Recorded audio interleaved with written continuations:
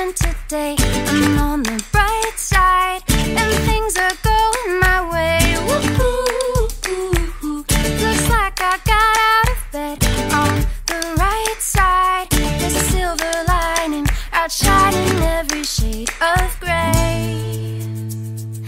Oh, wow.